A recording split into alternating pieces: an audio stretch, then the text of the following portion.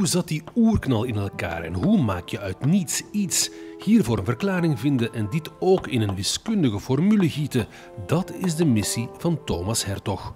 En hier, zegt Stephen Hawking, bij het begin van het heelal verandert tijd in ruimte. Maar goed, wat moeten we daar in godsnaam mee?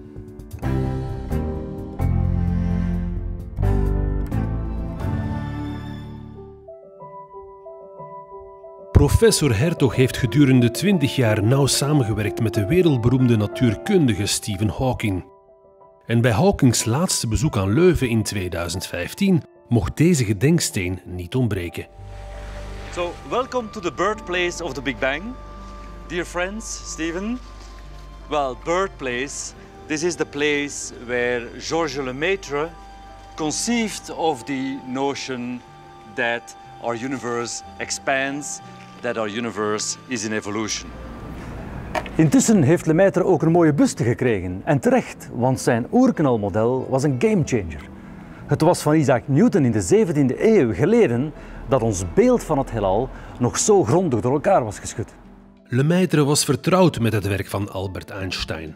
Uitstekend vertrouwd zelfs. Hij begreep in 1927 als eerste dat Einsteins nieuwe theorie van de zwaartekracht wanneer hij die loslaat op het hele heelal, voorspelt dat het heelal uitdijt, dat sterrenstelsels zich van elkaar verwijderen.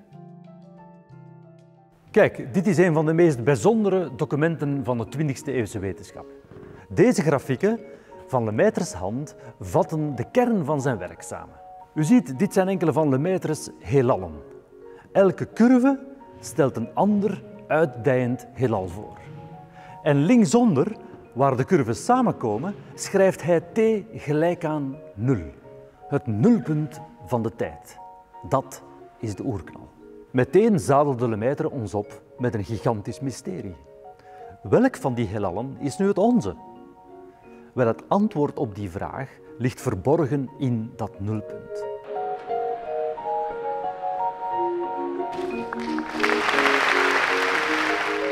Can you hear me? Samen met Stephen Hawking heeft Thomas Hertog dat nulpunt, die oerknal, jarenlang bestudeerd.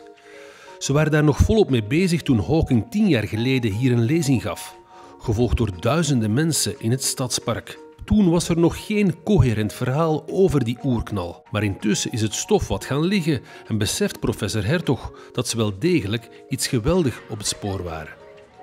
Hawking en ik hebben een Darwiniaanse visie op de oerknal ontwikkeld. Als je de oerknal ontleedt, dan bots je op een diepere evolutionaire laag. Een laag waarin de natuurwetten zelf evolueren en veranderen. De natuurwetten vertakken in de ontstaansfase van het heelal. In een kwantumversie van het proces van variatie en selectie dat we kennen van Darwin. Geleidelijk aan ontstaan de zwaartekracht, de donkere krachten en tenslotte de nucleaire en elektromagnetische kracht. Dus de oerknal in ons model is niet louter het begin van de tijd maar ook de oorsprong van natuurwetten zelf.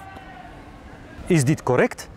We moeten voorzichtig blijven. Dit is tot nader order een hypothese. Je kan de oerknal niet zomaar bekijken. Maar professor Hertog werkt met zijn collega's aan het grootste experiment ooit. Dat bestaat uit drie satellieten die in een driehoeksconfiguratie rond de zon draaien op miljoenen kilometers van elkaar. Hiermee hopen de wetenschappers om de zwaartekrachtsgolven op te vangen rimpelingen in het ruimteweefsel waarmee de oerknal in Hawkings en Hertogs theorie gepaard gaat. De lancering is voorzien in 2032. Zo bouwen we voort op het werk van Einstein, Lemaitre en Hawking. Dat we mogelijk aan de vooravond staan om die diepere evolutie te ontsluiten die in de oerknal verborgen ligt, is een fantastisch vooruitzicht.